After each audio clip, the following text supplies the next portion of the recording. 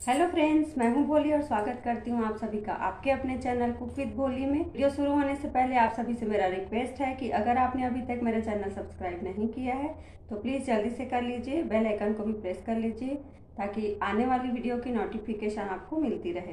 तो चलिए शुरू करते हैं आज की रेसिपी आज मैं आप सबके लिए छत्तीसगढ़ की एक और फ़ेमस सब्ज़ी चुनचुनिया भाजी की रेसिपी लेकर आई हूँ।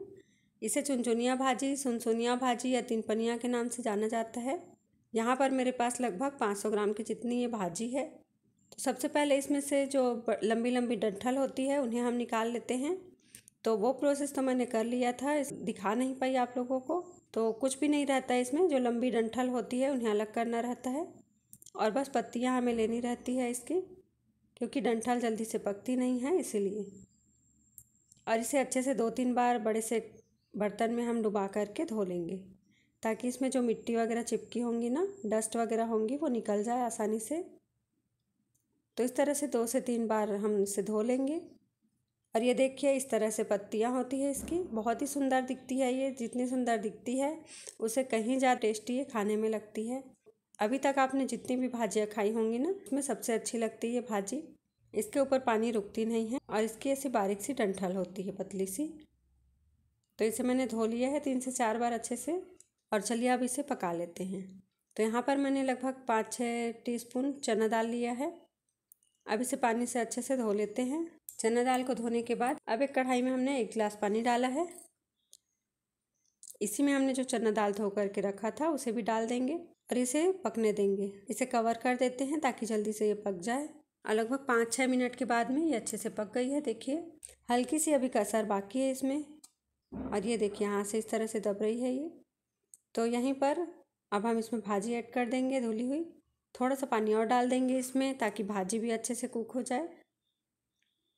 चम्मच चला करके इस तरह से आप ढक्कन लगा और लगभग इसे भी भाजी के पकने तक हमें पकाना है, ताकि ये भाजी और चना दाल आपस में पक जाए अच्छे से।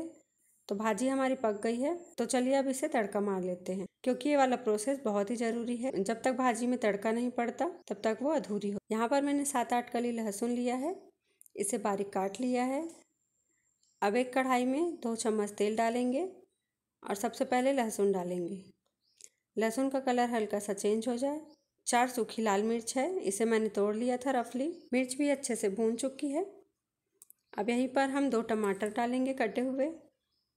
टमाटर डाल करके तुरंत ढक्कन ढक दीजिए, ताकि बघार इसी में रहे, उड़ने ना पाए। यहीं पर हम नमक ऐड कर देंगे स्वाद अनुसार।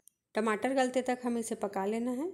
तो भाजी तो वैसे ही बनती है, सबके पकाने का तरीका थोड़ा अलग अलग होता है। और जैसे भी बनाइए पहले चाहे तड़का में डायरेक्ट इसे डाल दीजिए।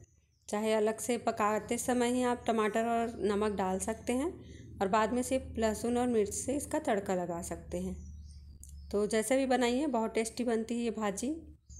टमाटर अच्छे से गल चुकी है। यहीं पर अब हम भाजी ऐड कर देंगे। और ढक करके इसे दो मिनट के लिए छोड़ देंगे। तो देखिए, भाजी और टमाटर दोनों एक सार होके पक गई है। और बहुत ही टेस्टी भाजी बन करके रेडी हुई है हमारी। तो आपने अभी तक ये वाली भाजी ट्राई किया है कि नहीं? ज़रूर करके देखिए, बहुत ही टेस्टी लगती है खाने में। आप सभी इसके दीवाने हो जाएँगे।